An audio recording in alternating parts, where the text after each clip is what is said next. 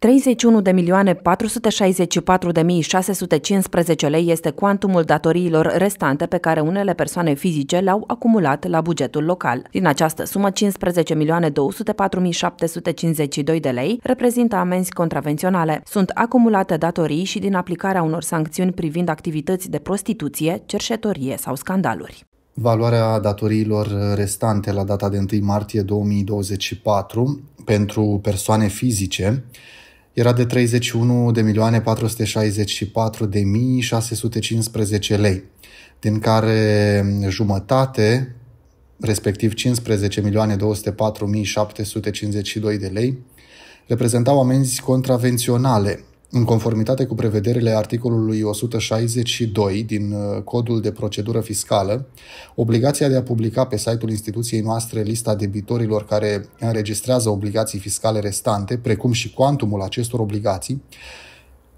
privește numai debitorii persoane juridice, nu și persoanele fizice. De cealaltă parte, contribuabil persoane juridice cu obligații fiscale restante mai mari de 10.000 de lei la 31 decembrie 2023 și neachitate la data de 4 martie 2024 au acumulat datorii în valoare de